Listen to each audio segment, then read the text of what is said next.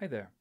Uh, this is Mr. Sand, and I want to tell you about um, a common confusion related to thrust and forces. So first of all, whenever you have a force diagram or a free body diagram, as they sometimes are called, um, it uh, it might look like a box. I, I mean, the easiest way to kind of describe this is through a box, I guess. So let's say you have a box and it's on some sort of surface. Okay. Now, just right here, we have a box, and then the center of the mass, let's say it's right there. Um, all the time, no matter what, you're gonna have you're gonna have gravity acting on this. Okay, gravity's always acting on this. So you always, always, always, always have the force due to gravity pulling down on the object. Now you also always have the normal force, and I'll draw it with a red here. The normal force opposing uh, any force that is uh, pulling down on a surface here. So this object is pulling down is being pulled down by gravity and it's in contact with this surface right here. So the force acting resisting gravity should be equal and opposite is the normal force right there. Okay, and it's always perpendicular to the surface that the object's on. So on this case, the surface is like this, so perpendicular to that. Oh, there it is. Uh, that's the normal force. If this were slanted, okay, if this situation were slanted, let's say that you have a box going kind of sideways. If the situation were slanted um, or going down at an angle like this, um, you would have the force due to gravity coming straight down towards the center of the Earth, okay, just like this. And you would have the normal force acting perpendicular to the surface. So perpendicular to the surface here would be, let's see, there's a surface, and perpendicular to that would be right here. That would be a straight line though, straight line up. And that would be the normal force because it's perpendicular to the surface that this box is resting on. Okay? So those two forces, you can almost always guarantee that those forces are going to be acting on objects that they're that are somehow in, in contact with the ground. Okay? Especially gravity is if it's on Earth, gravity's working. Okay. So with those two forces out of the way, I want to now talk about thrust. Um, thrust is only, only seen when you have an object that is spewing something out of its backside. And it's the backs. I say backside because uh, it's going, it's pushing something, and then it's going in the opposite direction. It's like if you I don't know if you sit. You can see this. Um, if people do this all the time, this little experiment where they kind of like they sit on like a you know on a uh, let's say you have like a bike. Oh, this is gonna be a bad drawing of a bike. Uh oh, it's already in trouble. Um, so you have a bike right right. Here. okay, this is really bad drawing of a bike. Alrighty, right there.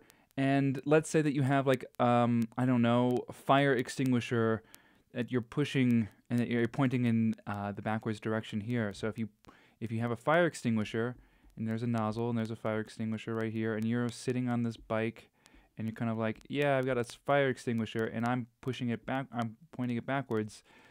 Um, there, if you fire the fire extinguisher, it's going to expel gas out of the back, right? And what's it going to do? So I'm just pointing right that the arrow has is not a force that arrow is just gas shooting out of the back. So that's gas right there. This is not a vector. This is not not force. But what it's doing is by pu by pushing that gas out, it's propelling this person forward. And the person's on a bike, there's low friction, so boom, this this guy gets to go forward, and that's the force, which is a thrust. Okay? That is and it's it's gotta be a push right there. It's gotta be a push. Thrust is always a push right? Right. So that's what happens when you have a thrust. Most of case most of the cases where you've got an object that's moving in a direction that's not thrust. That is just an object moving in a straight line, according to Newton's first law, without any uh, other forces acting on it. Okay, so if a box right here, let's just say right up on top here, this situation up here, if this box is moving, let's say it's moving moving to the right. Great, it's moving to the right. Well, I can draw an arrow that says it's moving to the right. Okay, fine, I can draw arrows, but that arrow really just shows you the movement of the object. It doesn't say the forces, and that's what's important here. The forces, not the movement. We're not talking about acceleration here. We're not talking about velocity here. We're talking about forces. So if this object right here is moving to the right, and let's say, let's just say it's moving to the right and it's, there's, it's moving at a constant velocity at a constant velocity. Okay, so it's moving at a constant velocity. Um, that must mean that there is no net forces acting on it. At a constant velocity, we should know this, there is no net forces acting on it. That means all the forces, the sum of all the forces, that's what this little Riemann sum, the sum of all the forces acting on this object equals zero. So that means the g, the force due to gravity, and the normal force, they cancel each other out, and there is no net force. Okay? So if this is moving at a, at a constant velocity, there's no net force, then this object right here, that's a perfect description of this object in, in terms of a force diagram or a free body diagram, which is what we're discuss, discussing now. This is not related to um, uh, acceleration vectors or velocity vectors. It is just a is talking about the forces acting on the object. Okay. Okay. Now, let's ignore this. Let's say ah, it's not moving with a constant velocity. Let's just say it's moving to the right Okay, let's say it's just moving to the right and it's slowing down and slowing down. Slowing. Okay, so it's slowing. It's moving to the right and it's slowing. Now, it would normally, if it had uh, no net forces acting on it, it would normally just go at a constant velocity in a straight line forever. But there's a the reason it's not doing that the reason it's changing its velocity is because of a force acting on it. Um, and we can call this, and we can say due to friction. Sure, due to friction. Due to friction. Um, and normally I use orange for friction. Okay, so it's going to the right and it's slowing due to friction. So there's a force due to friction that is acting on this box. So I have to write that force in this direction. So I'll say just FF, force due to friction. So that means that there is a force acting on the box, slowing it down. There's a force pushing it, or in this case, uh, whatever you want to describe, how you ever we want to describe friction, pushing, pulling, whatever. It's stopping this box from moving to the right.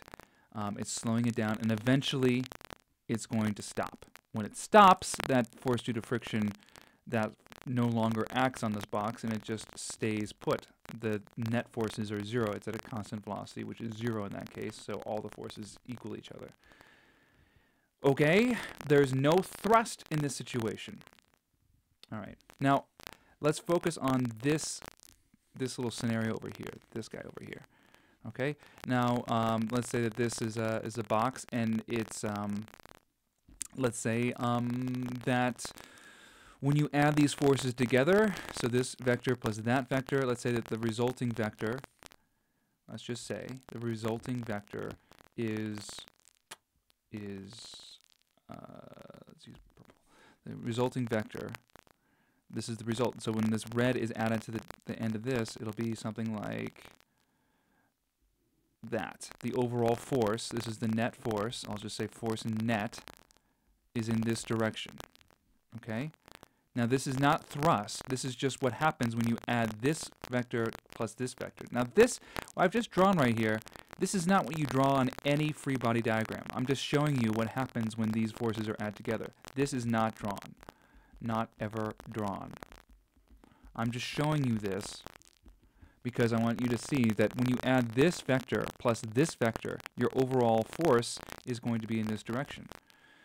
So if this is not ever drawn, so I'll take this off now, since this is not ever drawn in a force diagram, because those forces, that force is already there. We don't want to add extra force to this. When they're added together, the overall force is going to be down this slope. So we can say that this thing is moving, it's moving, it's moving down the slope, moving down, moving down slope, down slope and its movement is going to be in that direction, right? But that's the movement. It's not the force vector. It's not uh, a part of the force diagram, not not a part of the the any uh, forces that are acting on this. It's not that. It's just the overall movement is going in this direction. Okay? We can say that. That's fine. It's it's moving in that direction. Okay? You, it would be an acceleration vector, but we're not writing the acceleration vectors.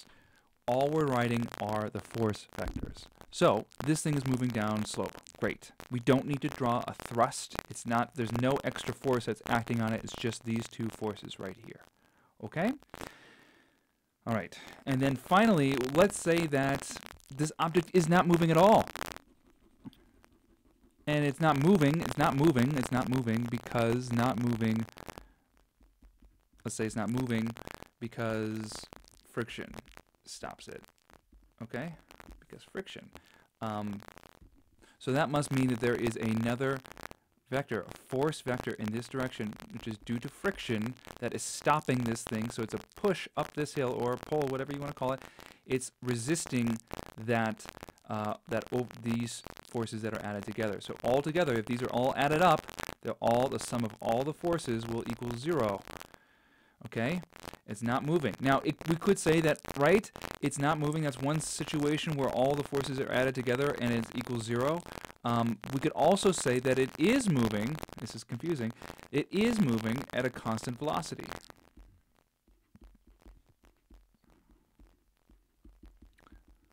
So we could just choose, we don't know just based on this force diagram if it's moving at a constant velocity or if it's just staying put.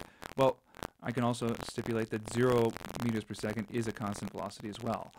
So it, it doesn't really hurt us here. But I'm just saying from the force diagram alone, we can't tell if the object's moving or not. We can just say that all the forces are equal to zero, so it must have a constant velocity. In this case, we'll just say it's at rest. We'll say that it's zero meters per second.